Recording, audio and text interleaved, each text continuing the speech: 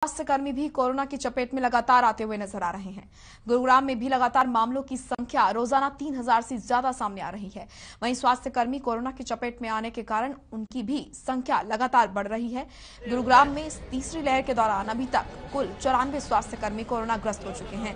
साथ ही गुरुग्राम में अभी तक इलाज करते हुए बाईस डॉक्टर कोरोना से संक्रमित हो गए हैं। इसके अलावा चौबीस एएनएम और दस नर्स समेत बाकी स्वास्थ्यकर्मी कोरोना की चपेट में आए हैं।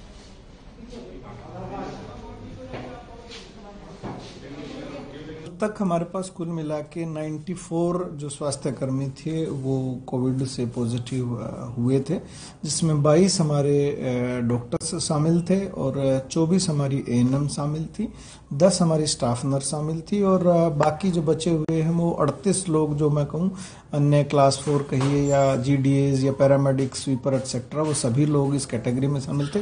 कुल मिलाकर इस वेव में 94 जो है वो कर्मी स्वास्थ्य कर्मी जो है वो पॉजिटिव